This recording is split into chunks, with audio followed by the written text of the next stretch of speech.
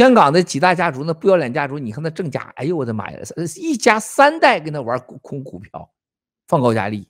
你像那刘连雄，你这这这都玩成这样了，还能玩？就是说，香港的四大不要脸，就从这个角度，香港这个香港确实该换换代了，low 到不能再 low 了。